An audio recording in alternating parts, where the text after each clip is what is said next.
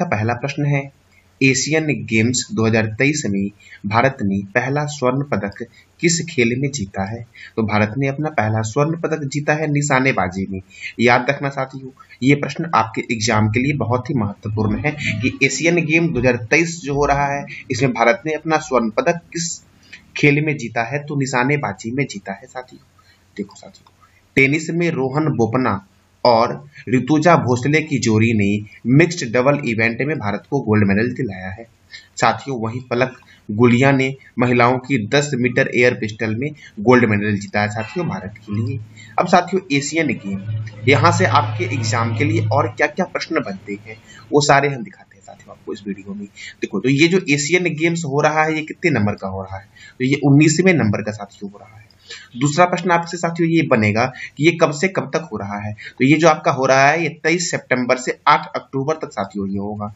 और इसमें साथियों, ध्वजवाहक दो खिलाड़ी थे।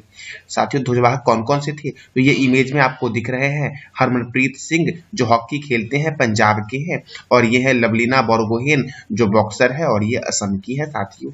अब साथियों, हमारा यहाँ से अगला प्रश्न बनता है कि पहली बार एशियाई गेम का आयोजन जो हुआ था, वो कहाँ हुआ था? तो नई दिल्ली में हुआ था। और अगर मैं पूछूँ, कब हुआ था तो क्या बोलोगे आप? उन्नीस सौ इक्यावन में हुआ था और ये जो उन्नीसवा संस्करण हो रहा है साथियों एशियाई गेम का, ये झांगो झोंगू चीन में हो रहा है। साथियों, इस बार जो एशियाई खेल हो रहा है, चीन के झंगजाऊ शहर में इसे शुभंकर कौन कौन है? तो साथियों, शुभंकर के बारे में बात करते हैं। तो शुभंकर है कांग कोंग लियान लियान और चेन चेन, साथियों, नाम दिया गया शुभंकर का, और यहाँ इमेज में साथियों, यही तीनों शुभंकर है साथियों। अब देखो साथियों, ये जो ओलंपिक होता है साथियों, एशियाई खेल जो होता है साथियों, ये प्रत्येक चार साल बाद आयोजित होता है, याद रखना। एशियाई, ये जो एशियाई खेल साथियों है, ये प्रत्येक चार साल बाद आयोजित होता है, और चालीस खेलों में चार सौ इक्यासी प्रतियोगिताएँ होंगी इस बार, जिसमें 45 देशों के खिलाड़ी शामिल होंगे साथियों। अगर मैं पूछूँ कि नाइनटीन एशियाई गेम में कितने खिलाड़ी शामिल होंगे? साथियों तो साथियों 40 खेल इसमें होंगे और खिलाड़ियों की प्रतियोगिताएँ कितनी होगी? चार और कितने देश के खिलाड़ी होंगे? तो 45 देश के खिलाड़ी होंगे साथियों। साथियों, भारत ने अब तक कितने मेडल जीते हैं एशियाई खेल में? ये 19 वाले का साथियों छोड़ करके छह सौ बहत्तर पदक भारत ने जीता है, जिसमें से 155 स्वर्ण पदक है 201 रजक है और 316 जो है वो कांस्य पदक है साथियों। अब देखो साथियों जो एशियाई खेल है। साथियों तो एशियाई ओलंपिक परिषद के कार्यवाहक अध्यक्ष कौन है, ये भी बहुत ही महत्वपूर्ण प्रश्न है। तो रणधीर सिंह है साथियों एशियाई ओलंपिक परिषद के कार्यवाहक अध्यक्ष। अब हमारा अगला प्रश्न बनता है, किसको world leader for peace and security award 2023 से सम्मानित किया गया है साथियों तो उन व्यक्ति का नाम है साथियों क्या तो माता अमृता नंदमयी देवी साथियों माता अमृता नंदमयी देवी को world leader for peace and security award 2023 से सम्मानित किया गया है। अब हमारा अगला प्रश्न है, हाल ही में कहा के मुख्यमंत्री ने प्रदूषण से निपटने के लिए पंद्रह पॉइंट का विंटर एक्शन प्लान तैयार किया है?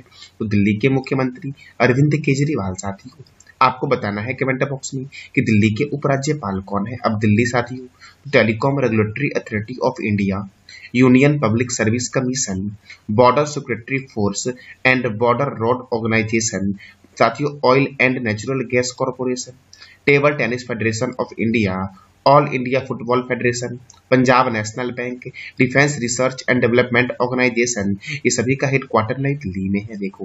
केंद्रीय रिज़र्व पुलिस बल अर्थात सीआरपीएफ की स्थापना उन्नीस में हुई थी और इसका भी मुख्यालय नई दिल्ली में है। राष्ट्रीय क्रेडिट कोर की स्थापना उन्नीस में हुई थी। भारत तिब्बत सीमा पुलिस की स्थापना उन्नीस सौ बासठ में हुई थी। सीमा सुरक्षा बल की स्थापना उन्नीस सौ पैंसठ में हुई थी। राष्ट्रीय सुरक्षा गार्ड की स्थापना उन्नीस सौ चौरासी में हुई थी। केंद्रीय औद्योगिक सुरक्षा बल की स्थापना उन्नीस सौ उनहत्तर में हुई साथियों देखो साथियों, हिमायू का मकबरा का निर्माण जो करवाया गया है, वो हाजी बेगम के द्वारा करवाया गया है। और साथियों, ये जितने भी संस्थान के बारे में मैंने बताया, ये सभी का हेडक्वार्टर नई दिल्ली में है। साथियों, स्थापना बहुत ही महत्वपूर्ण है, इसलिए मैंने स्थापना को बताया आपको। अब देखो, सफदरगंज का मकबरा का निर्माण किसने करवाया? सुजाऊ दौलानी। खिड़की मस्जिद का निर्माण किसने करवाया? तो गयासुद्दीन तुगलक ने साथियों करवाया। देखो, हिमायू का मकबरा दिल्ली में है और कुतुब मीनार भी दिल्ली में है। इसको उन्नीस सौ तिरानवे में और लाल किला रेड फोर्ट को 2007 में यूनेस्को के वर्ल्ड हेरिटेज साइट में शामिल किया गया है।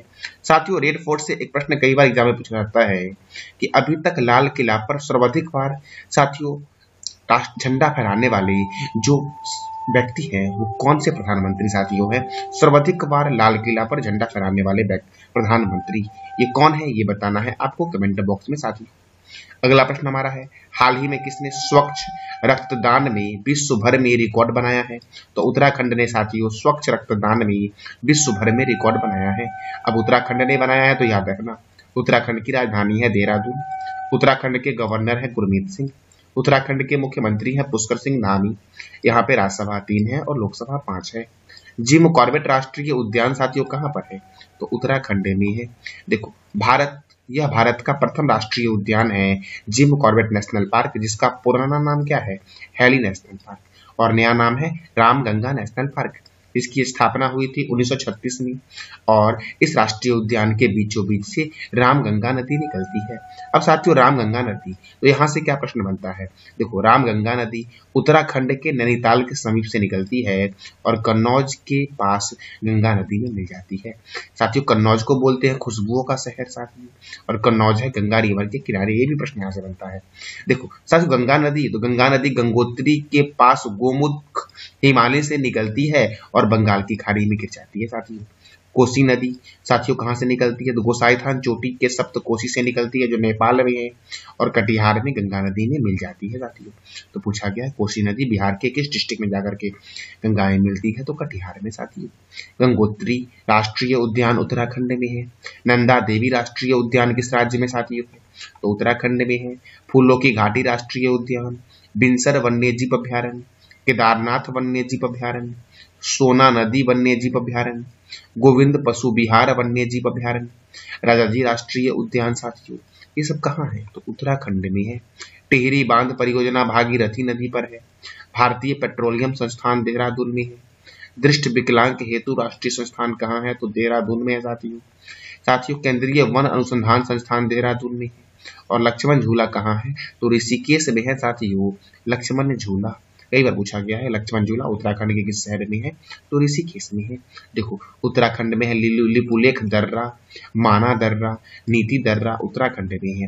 देखो, नैनीताल झील राकस्ताल झील, मालाताल झील और देवताल झील, ये तीनों झील साथियों, कहाँ पर? चारों झील साथियों उत्तराखंड में है। बद्रीनाथ केदारनाथ, गंगोत्री, हरिद्वार और ऋषिकेश उत्तराखंड के धार्मिक स्थल है। कैलाश मानसरोवर तक पहुँचने के लिए तीर्थ यात्री किस दर्रे का इस्तेमाल करते हैं? तो लिपुलेख दर्रे का इस्तेमाल करते हैं साथियों। हमारा अगला प्रश्न आपका है। हाल ही में किसने अंतरराष्ट्रीय होम टेक्सटाइल्स शिखर सम्मेलन की मेजबानी की है? साथियों, उत्तर प्रदेश का वाराणसी शहर साथियों, जो गंगा रिवर के किनारे है, यहीं पर हुआ है अंतर्राष्ट्रीय होम टेक्सटाइल शिखर सम्मेलन साथियों। देखो आगरा, मथुरा, यमुना रिवर के किनारे है, जो उत्तर प्रदेश के दोनों शहर है। वैसे दिल्ली भी यमुना रिवर के किनारे ही है। कानपुर, वाराणसी, गंगा नदी के किनारे बसा हुआ है साथियों और कन्नौज भी गंगा रिवर के किनारे है। लखनऊ, गोमती नदी के किनारे बसा हुआ है। गोरखपुर, राप्ती नदी के किनारे बसा बसा हुआ है। आपको बताना है, अयोध्या कौन से रिवर के किनारे है? नवाबों का शहर बोलते हैं लखनऊ को। उत्तर भारत का मैनचेस्टर बोलते हैं कानपुर को। ध्यानचंद्र स्टेडियम लखनऊ में साथियों है। ग्रीन पार्क स्टेडियम कहाँ है? तो कानपुर में है साथियों, ग्रीन पार्क स्टेडियम। चौधरी चरण सिंह, अंतर्राष्ट्रीय हवाई अड्डा लखनऊ में है। लाल बहादुर शास्त्री, अंतर्राष्ट्रीय हवाई अड्डा कहाँ है? तो वाराणसी में है साथियों, लाल बहादुर शास्त्री, अंतर्राष्ट्रीय हवाई अड्डा। अगला प्रश्न हमारा है। विश्व स्तर पर सुंदर वन के जलवायु प्रभाव, भार को प्रभाव को उजागर करने के लिए भारत और कौन सा देश एकत्रित हुआ है साथियों? तो भारत और बांग्लादेश साथियों, सुंदरवन के जलवायु प्रभाव को उजागर करने के लिए एक साथ साथियों हुए हैं। अब बांग्लादेश साथियों हुआ है भारत के साथ तो बांग्लादेश की राजधानी है ढाका। बांग्लादेश की करेंसी है बांग्लादेशी टका। बांग्लादेश के प्रेसिडेंट हैं मोहम्मद साहबुद्दीन बांग्लादेश के प्राइम मिनिस्टर हैं शेख हसीना। संप्रीति थल सैनिक अभ्यास, ये होता है भारत और बांग्लादेश के बीच साथियों बंगबंधु नेशनल स्टेडियम ढाका में है, और बांग्लादेश के संसद का नाम क्या है? तो जातीय संसद साथियों, बांग्लादेश के संसद का नाम है, देखो, सुब्रतो कप अंडर फोर्टीन, कहाँ शुरू हुआ है? तो बेंगलोर में शुरू हुआ, साथियों। साथियों, सुब्रतो कप जो अंडर फोर्टीन है, साथियों, ये बालकों के लिए है, और ये शुरू कहाँ हुआ है? बेंगलोर में हुआ है। तो याद रखना, बेंगलोर में इसरो का हेडक्वार्टर है, साथियों। कटक में चावल अनुसंधान संस्थान है। दिल्ली में साथियों, नीति आयोग का हेडक्वार्टर है दिल्ली में। National institution for transforming India NITI साथियों, आयोग का हेडक्वार्टर कहाँ है? नई दिल्ली में। और अहमदाबाद को बोलते हैं भारत का मानचेस्टर साथियों। बोलते हैं अहमदाबाद को, जो साबरमती नदी के किनारे है। अब फुटबॉल तो फुटबॉल का जन्म हुआ इंग्लैंड में। साथियों, इंग्लैंड के प्रधानमंत्री कौन है? ये बताना है कमेंट बॉक्स में आपको साथियों। देखो, फुटबॉल की सर्वोच्च संस्था है फीफा फीफा का फुल फॉर्म है federation international de football association. इसका हेडक्वार्टर ज्यूरिक स्विट्जरलैंड में है और इसकी स्थापना हुई थी 21 मई 1904 को।